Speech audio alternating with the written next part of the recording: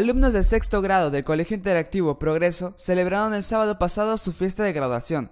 Un total de 16 alumnos, acompañados de sus padres y demás familiares, recibieron sus certificados de oficiales por la conclusión de sus estudios de primaria. El director del plantel, Jorge Vera Crisanti, también entregó a los alumnos la tradicional insignia que los acredita como miembros de la institución.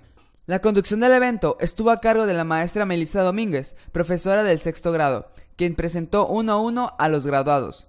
Posteriormente, los estudiantes presentaron un baile de despedida y para sorpresa de los invitados obsequiaron a la concurrencia otros dos bailes que fueron muy aplaudidos por todos.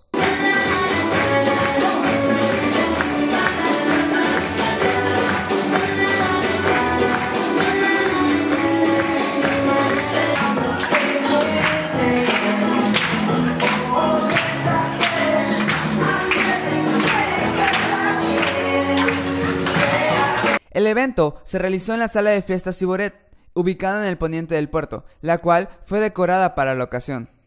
Luego de la ceremonia, los alumnos posaron para la foto del recuerdo y disfrutaron de una cena ofrecida por los padres de familia del grupo. Con información e imágenes de Oscar Pérez, Progreso Hoy informa.